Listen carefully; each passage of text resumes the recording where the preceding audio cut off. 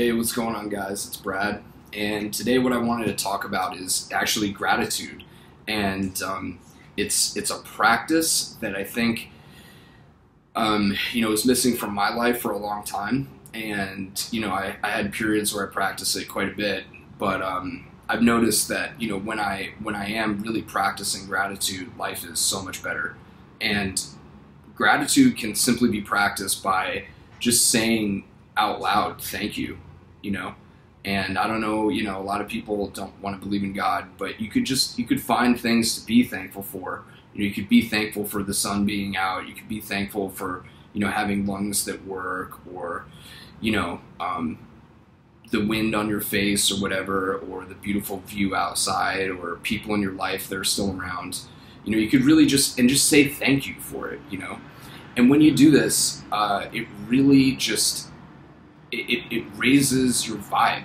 It makes you more um, more of like a healthy, attractive person, and it really vibe. It really like rubs off on the other areas of your life, you know. And um, you know, I just think it's it's one of those things. Like if you don't practice it, you're never gonna feel it, and you're never gonna really experience one of the best feelings in life, which is to be thankful for what you have and be grateful and be happy um, with where you are right now, you know, and we all have a lot to actually be grateful for, you know, being that we're alive and being that we're not, you know, terminally sick. Even those people can find things to be grateful for.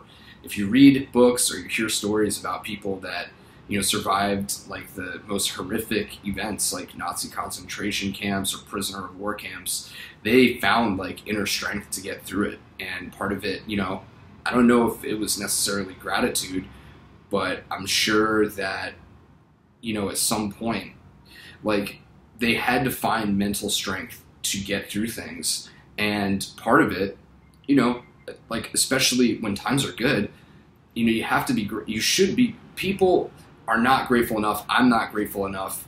And I think it's just like a great practice to just, you know, say thanks. Uh, if you could just like live your life saying thanks for what you have um, as much as possible to whoever, to the, you know, to life. You know, if you don't believe in God or whatever, just being thankful that you have another breath in you, you have another, you know, there's just a lot to be grateful for, and it's a practice. So, um, yeah, so that's about it. Thank you guys uh, for watching my channel. It's a super, you know, honor to to be able to make these videos and have you guys watch them.